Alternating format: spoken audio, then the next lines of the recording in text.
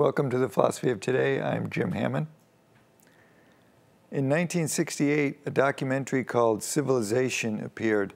It was made by an English art historian, Kenneth Clark. It was about 12 hours long. Viewers were much impressed. The documentary was an international success.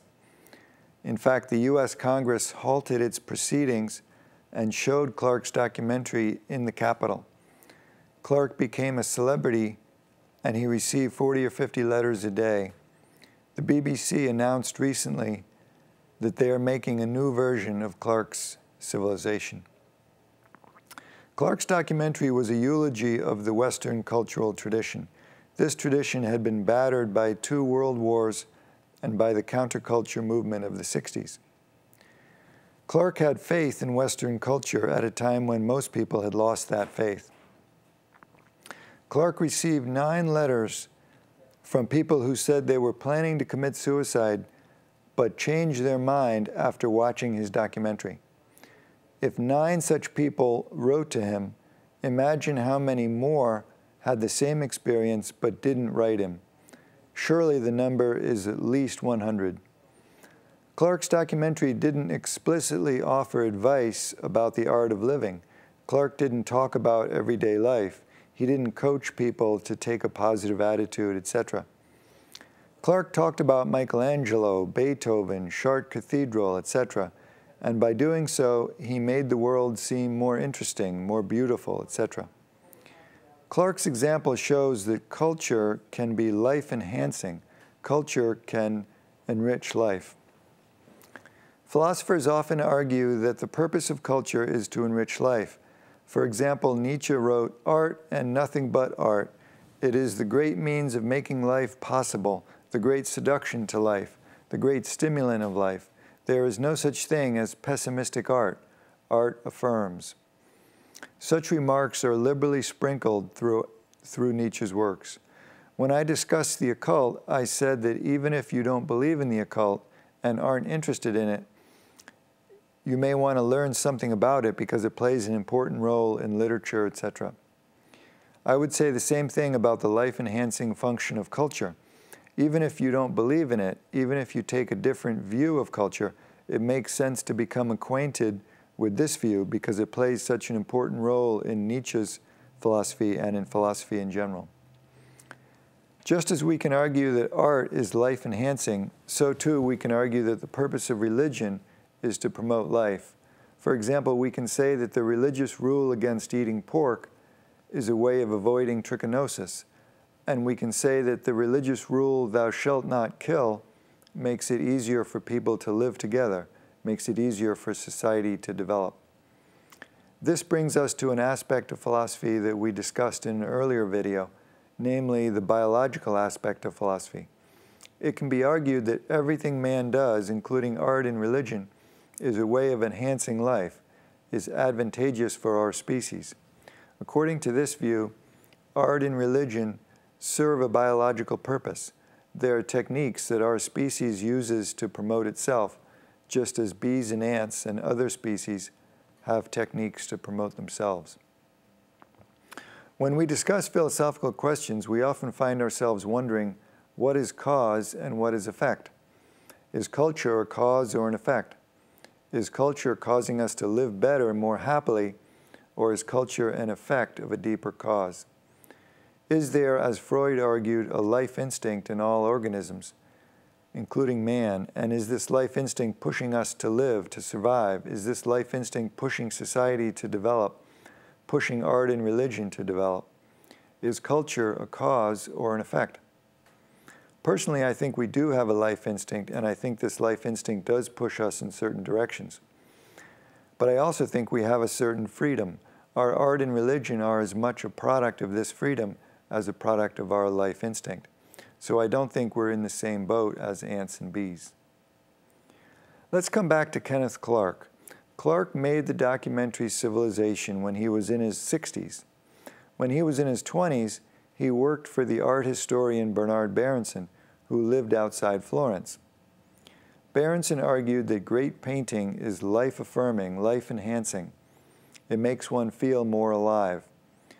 One way it achieves this is through what Berenson called tactile values, the creation of forms that have a three dimensional, touchable quality.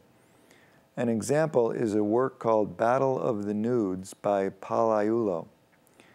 The pleasure we take in these savagely battling forms, writes Berenson, arises from their power to directly communicate life, to immensely heighten our sense of vitality.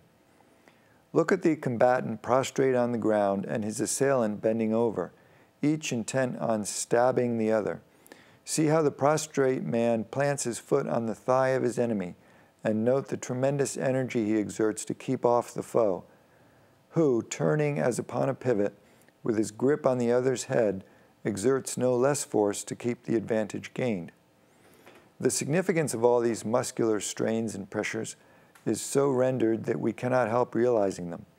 We imagine ourselves imitating all the movements and exerting the force required for them. While under the spell of this illusion, we feel as if the elixir of life, not our own sluggish blood, were coursing through our veins.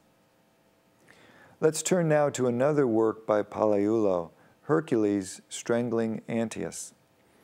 Berenson says, as you realize the suction of Hercules' grip on the earth, the swelling of his calves with the pressure that falls on them, the violent throwing back of his chest, the stifling force of his embrace, as you realize the supreme effort of Antaeus with one hand crushing down upon the head and the other tearing at the arm of Hercules, you feel as if a fountain of energy had sprung up under your feet and were playing through your veins. Where did Berenson get this idea of art as life enhancing? Probably from Goethe. Goethe was Berenson's guiding light, his inspiration. What is the purpose of art, the function of art? Berenson said, all the arts, poetry, music, ritual, the visual arts, the theater, must work singly and together to create the most comprehensive art of all, a humanized society, and its masterpiece, the free man free within and free without, ready in Goethe's untarnishable words to live manfully in the whole, the good, and the beautiful. What does this mean, the whole, the good, and the beautiful? It's not a religious ideal or a moral ideal or a cultural ideal. It's all three together. It's an ideal of personal growth, an ideal of the good life, an ideal of our attitude toward the world in general, it's the ideal of Western humanism. Notice Goethe's term resolute. I think it should be translated resolutely, but Berenson has translated it manfully. What does this word really mean, and why does Goethe use it? Perhaps because we never know for sure if our lives have meaning, if we're doing the right thing. So living requires a certain decisiveness, a certain resolution. Perhaps this is why Goethe uses the word resolute. Even though we're not certain, we must choose a course of action and pursue it. We must be resolute. Goethe is telling us to live resolutely in the good, the whole, and the beautiful. If I can use an analogy, imagine someone who's playing tennis. He doesn't know for sure if this is what he should be doing. He doesn't know for sure if there's any meaning in the game. But once he's on the court, he plays as hard as he can. He plays resolutely. For Goethe, the whole, the good, and the beautiful meant an interest in nature as well as art. Goethe was a scientist as well as an artist. He was even involved in what might be called the life of action, serving as a government cabinet member. So for Berenson, Goethe was the best exemplar of the good life of the Western humanist ideal. Berenson felt that among painters, Raphael had best expressed the Western humanist ideal. Berenson said that Raphael's paintings offer the noblest models for mankind to attain, models of realizable and never impossible states of being and ways of living. Raphael's Disputa, School of Athens, and Parnassus seem now, as they did 50 years ago, the clearest and most convincing visions of the perfect existence for which we yearn and which we hope to attain. Let's look at Raphael's School of Athens. Notice that Berenson doesn't praise it for its tactile values, but rather for depicting a model society, a model life, a perfect existence. Notice also that Berenson says it's an attainable life, not an impossible life. Beyond where we are now, perhaps, but not beyond where we hope to go. The ideal that Raphael depicts is the Western humanist ideal, the pursuit of truth and beauty, the ennobling of society and of the individual.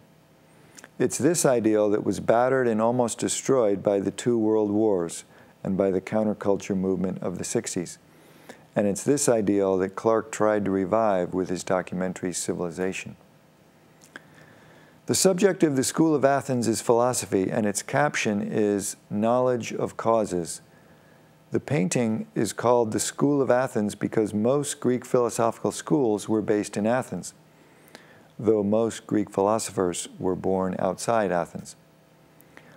At the center of the painting are Plato and Aristotle. Plato is on the left and is clearly the older man. He's holding one of his books, the Timaeus, while Aristotle is holding one of his books, the Ethics. Plato, who's known for emphasizing pure ideas, points toward the sky, the heavens, while Aristotle, who's known for his scientific bent, gestures toward the earth. The figure of Plato is based on Leonardo da Vinci. If we compare the figure of Plato with Leonardo's self portrait, there's a close resemblance. Socrates is shown in a greenish cloak on the left side of the painting. Raphael depicts himself in the lower right. Notice also the role of architecture in the painting, the arches, the coffered ceilings, the statues. This painting, The School of Athens, is by a Renaissance painter, Raphael. Renaissance architects followed classical models, perhaps because they believed that the ancients had lived the good life. And the good life should have a certain setting, it should be lived in certain surroundings. Or perhaps Renaissance architects had been taught to find beauty in the classical style, so they felt that arches and coffered ceilings were beautiful. Until recently, our society also built in a classical style. In the early 1900s, for example, Grand Central Station and Penn Station were built in a classical style. Let's look at a picture of Penn Station, which was, which was built in Manhattan in 1910 and demolished in 1963. What we find in Penn Station is what we found in Raphael's School of Athens arches, coffered ceilings, columns, a feeling of space. In fact, one might say that the real Penn Station was grander than Raphael's imaginary space. Penn Station was modeled after an ancient structure, the Baths of Caracalla in Rome. If we look at a picture of the Baths of Caracalla, we can see a resemblance to Penn Station. Let's look at a short video about Penn Station. The description is by the American novelist Thomas Wolfe. The station was murmurous with the immense and distant sound of time. Great slanted beams of moted light fell ponderously athwart the station's floor, and the calm voice of time hovered along the walls and ceiling of that mighty room distilled out of the voices and movements of the people who swarmed beneath. Here, as nowhere else on earth, men were brought together for a moment, at the beginning or end of their innumerable journeys. Here one saw their greetings and farewells. Here, in a single instant, one got the entire picture of human destiny. Men came and went, they passed and vanished. All were moving through the moments of their lives. But the voice of time remained aloof and unperturbed, a drowsy and eternal murmur below the immense and distant roof. Thomas Wolfe.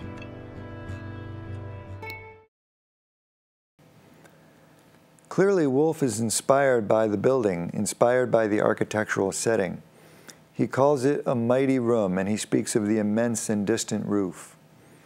Henry James said that literature lifts up the heart.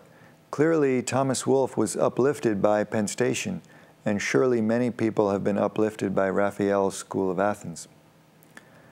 All branches of culture work toward the same goal to uplift, to make life richer, more interesting. Hence, Kenneth Clark deals with all branches of culture in his documentary Civilization. Hence, nine people wrote to him and said that his documentary had steered them away from suicide. Notice that Clark's approach is the opposite of academia's approach. While Clark brings all the branches of culture together, academia divides culture into separate departments. Clark integrates, academia specializes. People like Clark and Goethe are always connecting culture to life. Academia looks at technical matters that are divorced from life. For example, instead of looking at the uplifting quality of literature, academia would discuss narrative techniques. Instead of discussing how Raphael presents a vision of the good life, academia would analyze Raphael's brushstrokes. Academia loses the forest for the trees.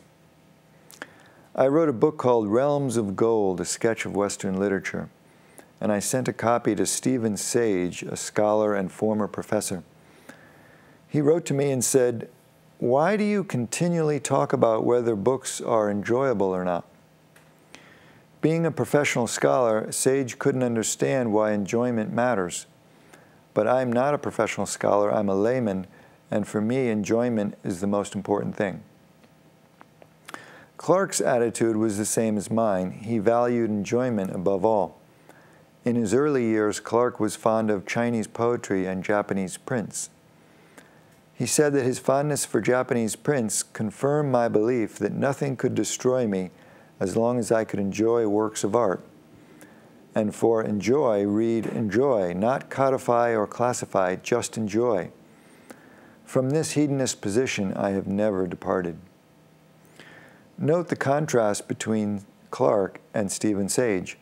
Clark was a humanist and integrator, and he valued culture for the enjoyment it provides. Stephen Sage is a PhD, a former academic, a professional scholar, and he can't understand why enjoyment matters at all. Let's come back to Raphael's School of Athens. Such a painting not only provides enjoyment, it also conveys the idea that the good life is possible. If not today, then tomorrow. If not here, then in Penn Station. If not here, then at Berenson's estate outside Florence. One of the most influential writers on art was John Ruskin, who died in 1900. Ruskin argued that the artist should create with enjoyment. His work shouldn't be drudgery. He should put his heart into it. He should express himself, not just follow orders. Ruskin emphasizes enjoyment as much as Clark does, but Ruskin doesn't discuss only the enjoyment of the observer. He also discusses the enjoyment of the creator, the artist. Ruskin was a champion of Gothic architecture. He felt that medieval craftsmen expressed themselves in their work. They worked with enjoyment. Their gargoyles and ornaments were carved with love. Ruskin wrote, I believe the right question to ask respecting all ornament is simply this Was it done with enjoyment? Was the carver happy while he was about it? It may be the hardest work possible, and the harder because so much pleasure was taken in it. But it must have been happy too, or it will not be living. When we talk about the life enhancing function of culture, we should consider the artist as well as the observer, the writer as well as the reader. The enjoyment of the artist communicates itself to the observer and becomes a part of the observer's enjoyment. Clark himself is an example of this. Clark enjoyed making his documentary. He said that the most enjoyable years in his long life were those in which he was making his documentary Civilization. Clark wrote, It seems ridiculous to say that the happiest years of my life took place when I was 68, but so it was. Perhaps Clark's enjoyment communicates itself to the viewer and helps to explain the popularity of his documentary. In earlier videos, I discussed my theory of history and my theory of Renaissance and decadence. I argued that a Renaissance is an expression of the life instinct in society, while decadence expresses the death instinct. Now I'm arguing that culture is life enhancing, life enriching. Are these two ideas connected? Does the Renaissance artist create life enhancing art because he has a strong life instinct? The French writer Stendhal said that beauty is a promise of happiness. Beauty in any branch of culture enriches life. Beauty says that the good life is possible, happiness is possible. Let's look at how one novel makes a promise of happiness. Let's look at The Brothers Karamazov by Dostoevsky. Dostoevsky says that we often feel anger and resentment, but a positive attitude is possible happiness is possible. Rakitin turned into a back alley and walked away. As long as he thinks of the offenses he has suffered, he will always be turning off into back alleys. But there is a bright, wide open road, a straight road, shining like crystal, leading to the sun. A few chapters later in the same novel, Dostoevsky describes a conversation between Alyosha, who's about 20 years old, and Kolya, who's about 12. Alyosha says, Listen, Kolya, there will be times in your life when you'll be very unhappy. I know, I know, but it's so strange the way you can tell things in advance. But on the whole, you'll be pleased with your life. Alyosha is promising Kolya happiness. Stendhal said that beauty is a promise of happiness, and Dostoevsky's character is making that very promise. Alyosha is telling Kolya that he'll be pleased with his life, that he'll find happiness. Remember Nietzsche's comment there is no such thing as pessimistic art. Art affirms. In The Brothers Karamazov, Dostoevsky affirms. Dostoevsky promises happiness.